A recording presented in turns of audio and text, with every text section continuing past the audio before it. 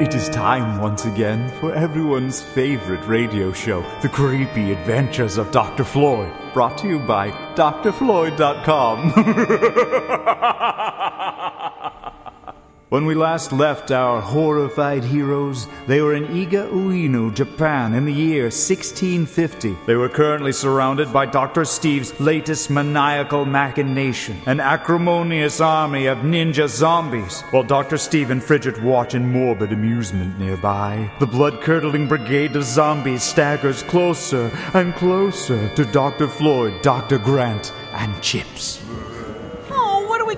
Dr. Floyd? I don't know, Dr. Grant. We have time to make a plan. According to my calculations, these zombies are so slow moving they won't reach us for five minutes.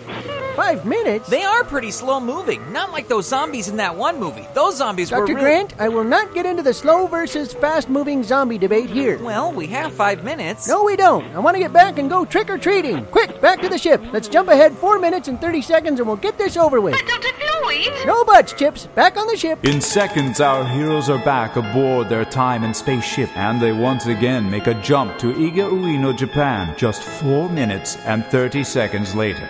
Once they reappear, they run down the ship's ramp and back to the same exact spots they were in moments earlier, which are now within arm's reach of the ninja zombies.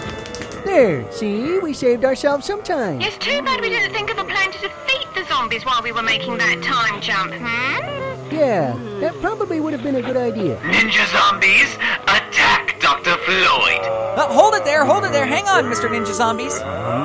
I'm not Dr. Floyd. This is just my Halloween costume. He's Dr. Floyd. Thanks a heap, Dr. Grant. Well, I just wanted them to be precise. Attention, ninja zombies. Would you just please attack them all? Oh, now what are we gonna do? The only thing we can do in this situation, Dr. Grant, panic!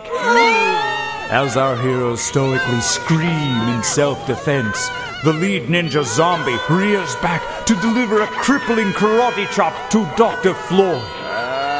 But when his hand makes contact with Dr. Floyd's shoulder, there's a creaking sound, and the zombie's arm falls right off onto the ground. Uh, hey, look at that, Dr. Grant. Chips, I know what to do now to defeat him. What's that? Just stand still. Dr. Floyd, are you crazy? Trust me, stand still. Our heroes stand perfectly still. As they do, the zombies all rear back to begin their assault.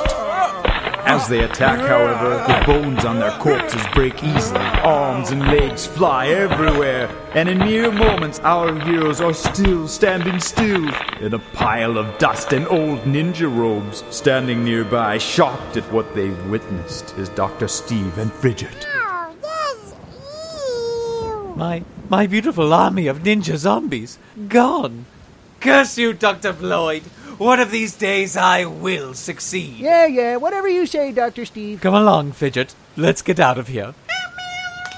Happy Halloween to you too, Fidget! No! Should we go after them? Nah, let him run. We need to get home and do some trick or treating. Our heroes are soon back in Dr. Floyd's laboratory, all set to go out and do their trick or treating. Flashlights? Check. Candy bags? Got them right here! Looks like we're all set. Where's your costume, Dr. Floyd? It's right here. Help me put it on. Okay, hang on.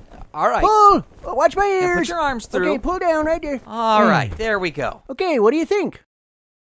I'm Fidget.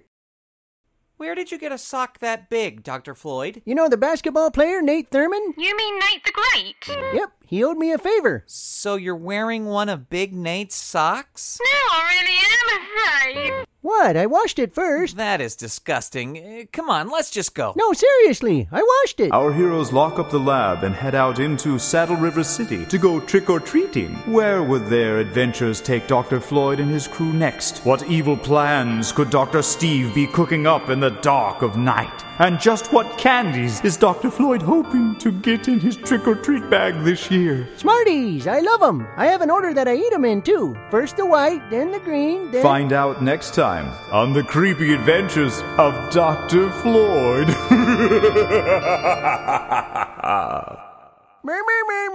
Does that sound like Fidget? Mm, no.